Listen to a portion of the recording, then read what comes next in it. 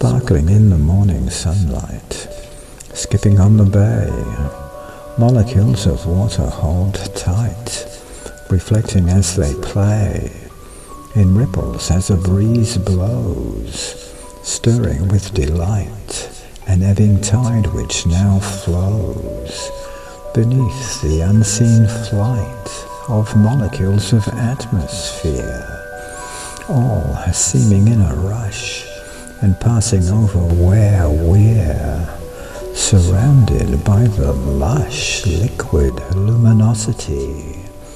where mountains meet the sea, the natural world with you and me,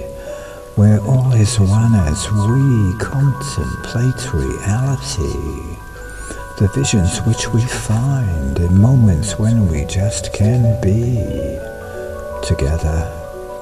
this time